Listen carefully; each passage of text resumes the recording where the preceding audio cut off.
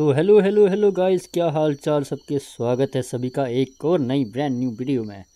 तो गाइस आज की इस वीडियो में हम बात करने वाले हैं कि आप पुजाब लॉन्चर के कस्टम कंट्रोल्स कैसे रख सकते हो? मतलब आपको कुछ जैसे डिफ़ॉल्ट कंट्रोल है, जैसे आप देख सकते हो, मेरे अभी डिफ़ॉल्ट कंट्रोल है, लेकिन आप कुछ और सेट करना चाहते हैं, जैसे आप मेरे लाइव में भी देखते रहते होंगे कि मेरे पास एक्स्ट्रा यहाँ पर कुछ बटन होते हैं जो कि सी और क्यू जैसे कुछ रखे होते हैं, मैंने जिससे अब मैं जूम या ड्रॉप या कुछ ऐसे कर सकता हूँ चीज़ें।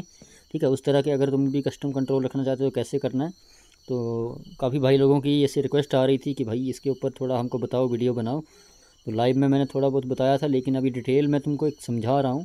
ठीक है, आराम से इस वीडियो को देखना और तुम्हारे नॉलेज के लिए एक बेहतरीन वीडियो रहेगी आई होप तो चलो इस वीडियो को शुरू करते हैं और आपको बताता हूँ कैसे करना है आपको, ठीक है? तो आपको ऐसे क्या करना है साइड में से ऐसे इस तरह से निकालना है, इसको यहाँ से निकल आता है।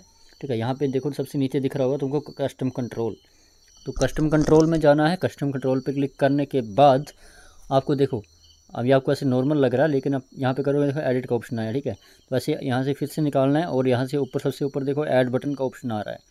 तो ऐड बटन पे के ऊपर क्लिक करने के ऊपर यहाँ पे आ गया न्यू ठीक है? ये न्यू आ रहा है तो आपको इसके ऊपर इसको करना है ना एडिट करना है, इसको नाम देना है। जैसे मान लो तुम ड्रॉप वाला देना चाहते हो कि तुम आइटम को बिना इन्वेंट्री खोले ही ड्रॉप करो, जो तुम्हारी इन हैंड में होती है तो उसके लिए क्या करना है? यहाँ से देखो मान लो तुम उसको कुछ भी नाम दे दो, जैसे मैं नाम देता हूँ क्यू या सिर्फ़ मान लो ऐसे ड्रॉप देता हूँ नाम, ठीक है? ड्रॉप ठीक है? ड्रॉप करने के लिए है।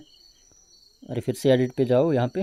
ठीक है? यहाँ पे साइज़ को वन फिफ्टी ही रहने दो। यहाँ पे नीचे मैपिंग वाला दिख रहा है, जो आपका लेफ़्ट साइड वाला है, उसके ऊपर पहले अनाउन वाले पे क्लिक करो। यहाँ से ढूंढो आप क्यू ठीक है? क्यू ढूंढो क्यू मिल गया आपको। नीचे वाले अनाउन पर भी आप क्यू कर दो। ठीक है?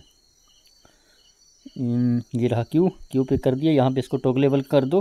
ठीक है टोगलेबल करने से क्या होता है कि जैसे तुम कई बार गलती से एक बार क्लिक कर रहे होते तो सामान गिर जाता है, लेकिन टोगलेबल से आपको डबल क्लिक करना पड़ता है, तब आपकी जो आइटम है वो ड्रॉप होगी, ठीक है। तो ये कर दिया, हमने सेट कर दिया, बाकी और कुछ करने की ज़रूरत नहीं है ओके कर दिया। ठीक है, ये ड्रॉप है, इसको यहाँ, कहाँ कहीं भी सेट कर सकते हो, जैसे ज़ाहिर जैसे आप चाहते हो, ठीक है। तो ये सेट कर लिया हमने इसको, अब यहाँ पे सेव नहीं हुआ है, ठीक है। यहाँ पे, यहाँ से इसको सेव करना का है उसको नाम दे देना है, जैसे देखो मैं नाम दे देता हूँ उसको बाय।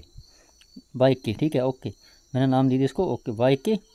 अब क्या करना है हमको? फिर से कस्टम कंट्रोल पे जाना है। ये वाले अभी मेरे, देखो, यहाँ पे आया नहीं है ये कस्टम कंट्रोल ठीक है? मेरा जो मैंने सेट करा था। तो यहाँ से जाना है, यहाँ पे सबसे नीचे देखो सिलेक्ट डिफ़ॉल्ट कंट्रोल यहाँ पे जाओ।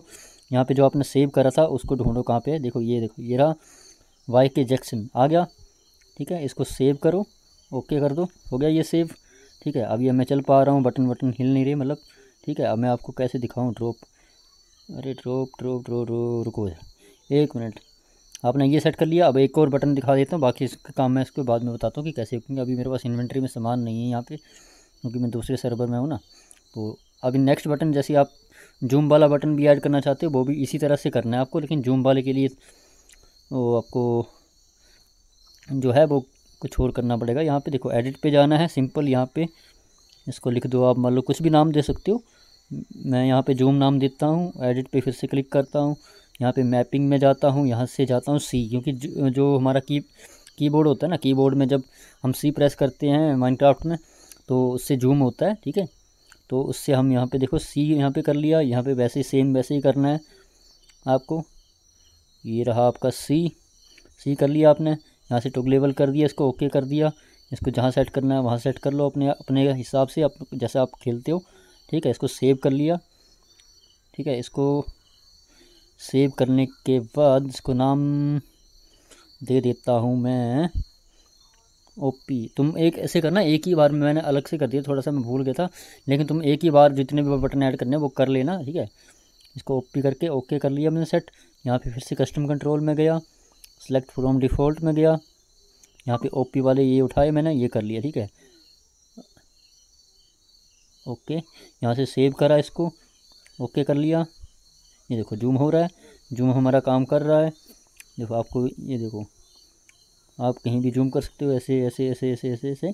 इसी तरह से ड्रॉप वाला भी हमारा लग गया होगा। मैं आपको दिखाता हूँ, एक मिनट तो गाइज़ अभी देखो, मैंने ड्रॉप वाला बटन जो सेट किया था, उसको दिखाने के लिए मेरे को इन्वेंट्री में कुछ चाहिए था। तो मैं अभी सर्वर में आया हूँ वापस से। तो ठीक है ड्रॉप वाला बटन देखो, यहाँ से काम कर रहा है। देखो कुछ भी सामान तुम अब यहाँ पे थ्रो कर सकते हो ऐसे बिना इन्वेंट्री खोले हुए।